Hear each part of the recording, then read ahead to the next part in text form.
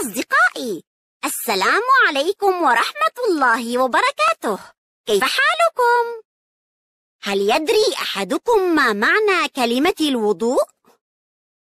نعم أحسنتم. الوضوء من الوضاءة وهي النظافة. لقد شرع الإسلام لنا الوضوء قبل كل صلاة. لذا جئت اليوم لنتعلم معا كيف نتوضأ. قبل الوضوء لابد أن نذكر الله تعالى فنقول بسم الله. ثم نغسل كفينا جيدا ثلاث مرات. وينبغي أن ندخل الماء بين أصابعنا. هكذا. ثم ندخل الماء إلى فمنا لنغسله جيدا. هكذا. نفعل ذلك ثلاث مرات. وهذا الفعل يسمى بالمضمضة. ونجعل بعض الماء في أنفنا. ونخرجه مرة أخرى.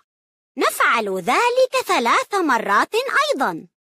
وهذا الفعل يسمى بالاستنشاق والاستنثار. ثم نغسل وجهنا كاملا هكذا ثلاث مرات. وينبغي أن يشمل الماء الوجه كله من الأذن اليمنى إلى الأذن اليسرى. ومن أعلى الجبهة إلى أسفل الذقن كما ترون. ثم نغسل يدينا ثلاث مرات من أطراف أصابعنا إلى المرفقين. هكذا. نبدأ باليد اليمنى أولا.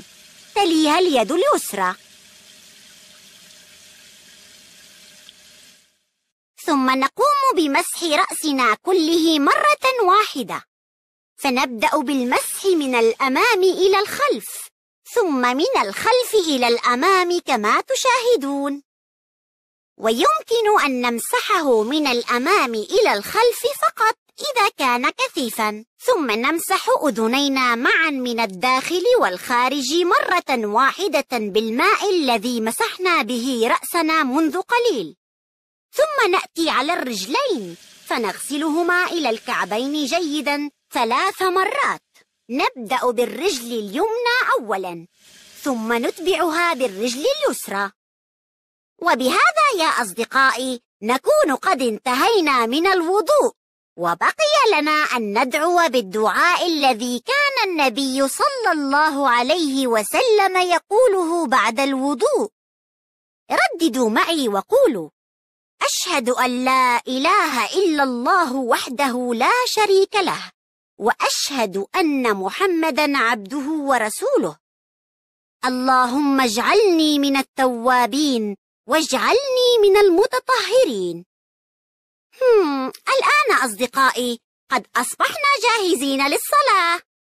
تقبل الله منا ومنكم والسلام عليكم ورحمة الله وبركاته.